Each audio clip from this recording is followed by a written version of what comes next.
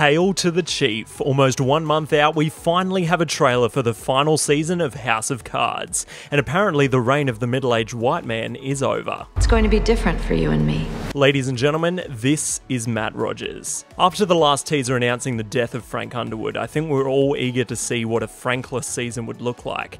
And now we know. The trailer opens with Claire addressing American troops, referring to the difficult year it's been due to the loss of her husband.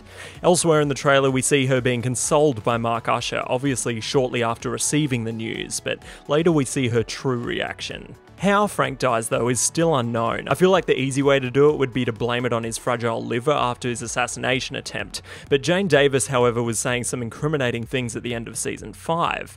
But obviously, whatever happens to him will need to happen off screen, so I don't think it'll be too convoluted. They're making it clear that Claire is doing things her own way and not even following through with promises made by her late husband, even going as far as saying not to believe a word he said. It's nice to see the return of Linda Vasquez, who obviously is out to get Claire and attempting to bring her dark side into the public eye. And I'm sure Kathy is too, who is briefly seen escorted out of a building.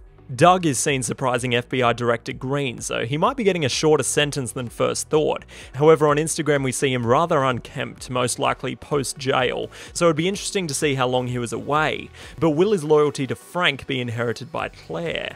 Petrov also makes a return, which I'm glad to see, as I feel a dialogue between him and Claire whilst she's in power is a setup for chaos.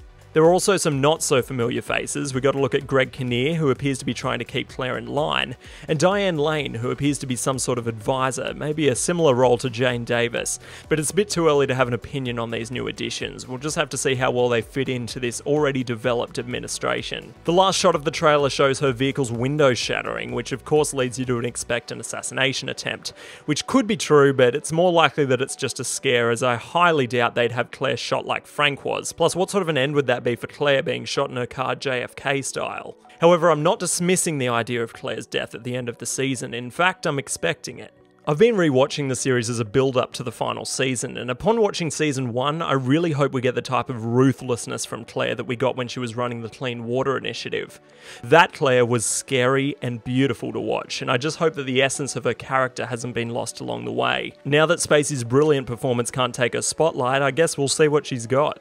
And it was lucky that at the end of season 4 they wrote in Claire's fourth wall breaking abilities, as that will help us still have that connection to the lead role although no one will ever do a direct address like Spacey.